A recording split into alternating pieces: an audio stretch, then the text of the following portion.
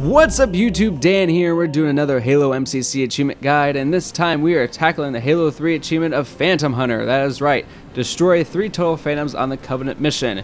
Now this is entirely impossible to do this in one round through, you have to actually do this in multiple rounds, you have to play the mission, start over, and then play again. What do I mean by this? Well, of course you can destroy the Phantom the first time, or in our case, the second time, and then what you're going to do is you're just going to click the pause button, and then you're just going to go back to the last checkpoint.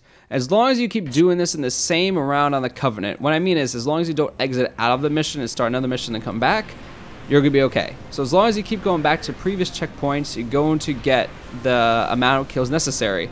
Now I know what you're thinking, Dan, how is that possible? How could achievement be this easy to get?